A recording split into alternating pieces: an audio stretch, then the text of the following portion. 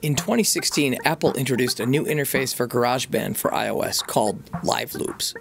Live Loops gives users more of a pattern or clip based method for making music, similar to the way Ableton Live works with clips in session mode, and very similar to how Launchpad for iOS works.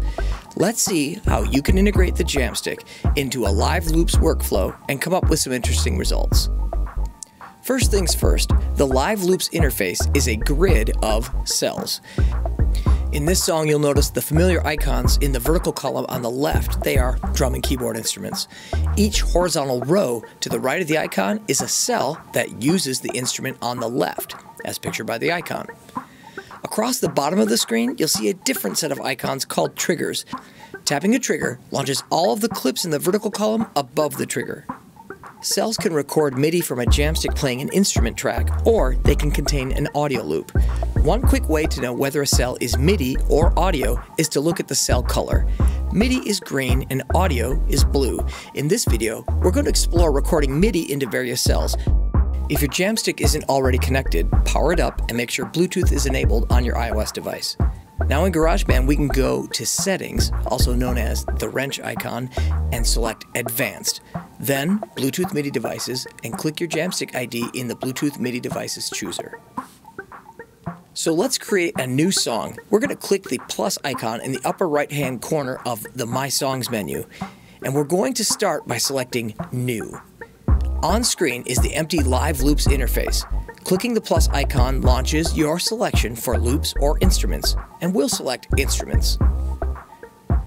From within the keyboard group, I'm going to select Alchemy and a patch from the Mallets category called Woodblock Space. You'll notice that Live Loops defaults to a length of 4 bars for a cell indicated in the timeline.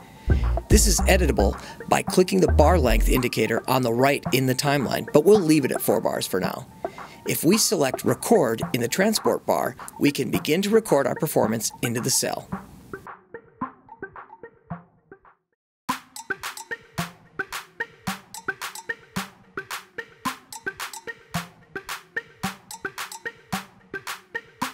Once we're happy with the take, we can open the track controls to help shape what we've just recorded. Volume, panning, compression, EQ, and effects are all in the output settings, or we can modify the part by quantizing, transposing, or allowing merge recordings for future takes. Now, unlike the tracks interface for GarageBand, the cells in Live Loops are set to repeat at their designated bar length, and it's possible to have multiple cells repeating at different bar length intervals. So for our first cell, we recorded four bars, but our next cell, we're going to record and edit down to one bar, and then we'll record a couple of two bar cells.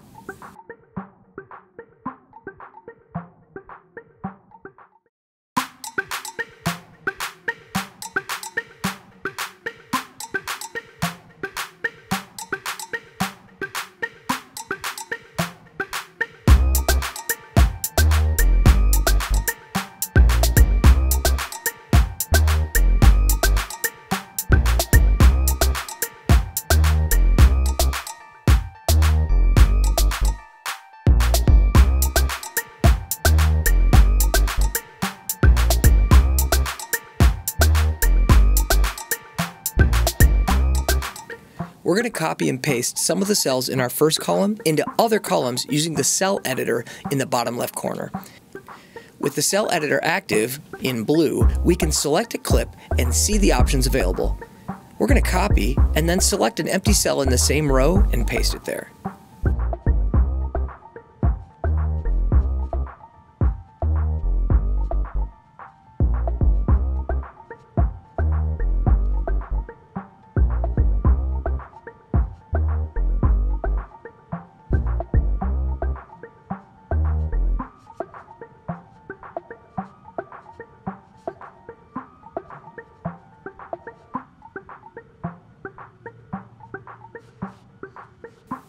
Triggers are the row of arrow icons across the bottom of the Live Loops interface, and when pressed, they launch every clip in the vertical column above the trigger.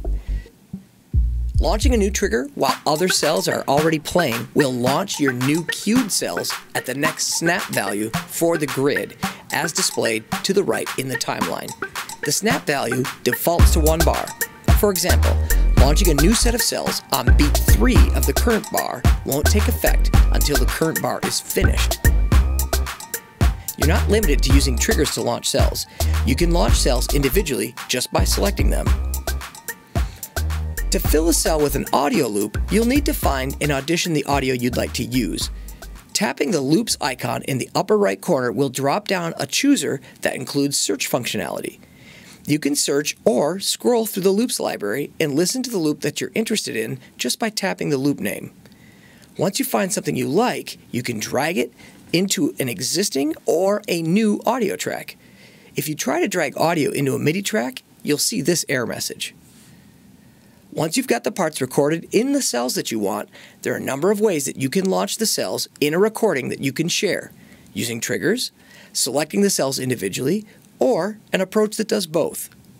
Pressing record will launch live loops into a mode where everything played from a cell is recorded into traditional GarageBand instrument and audio tracks in the background.